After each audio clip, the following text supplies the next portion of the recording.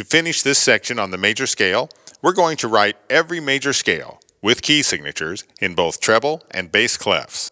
You'll need five sheets of manuscript paper. So what's the benefit of doing this? Solidify your knowledge of the major scale. Master where notes appear on the staff. Work with every major key signature. Become proficient in both treble and bass clefs. And use ledger lines. Until now, we have not spent a lot of time working with the bass clef.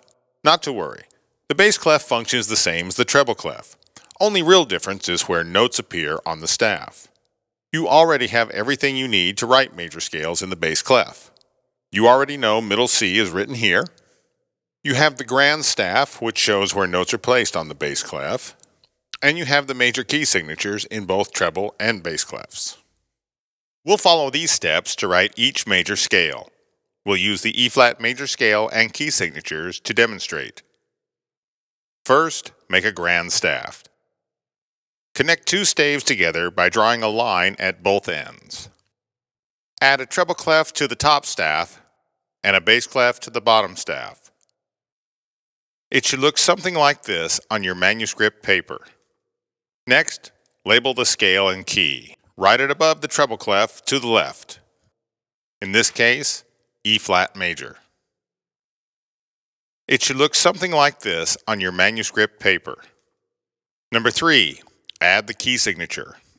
Using the printout of all major key signatures, add the key signature to both clefs. This is going to be key of E flat. This is the key signature for E flat. Add these flats. In the treble clef, B flat, E flat, A flat. Do the same in the bass clef, B flat, E flat, A flat. It should look something like this on your manuscript paper. Now we're going to add the musical alphabet. Write the musical alphabet between the two staves, starting on the letter that matches the name of the major scale and key signature. Since we're doing E flat major, the musical alphabet will start on the letter E. It should look something like this on your manuscript paper. Now we're going to write the major scale in the treble clef.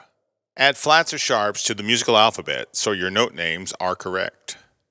E flat, F, G, A flat, B flat, C, D, E flat. It should look something like this on your manuscript paper.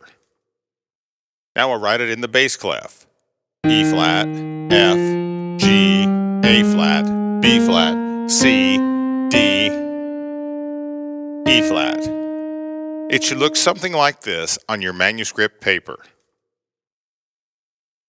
Notice the last three notes in the bass clef used ledger lines. And lastly, take the time to verify your major scale is correct using the tools we've learned so far. Is the order of whole steps and half steps correct? Move up two whole steps, one half step, three whole steps, and one half step. That checks out. Does it pass the three tests so we know all note names are correct? Did it use all seven letters? Yes. Did we skip a letter? No. And did we use a letter twice before the musical alphabet started over? No. All three are correct. Please note, these next two videos will move along very quickly, so do pause and replay. Work at the pace that is right for you. If you are unsure about something, just go back and review the video on that subject. Let's get started.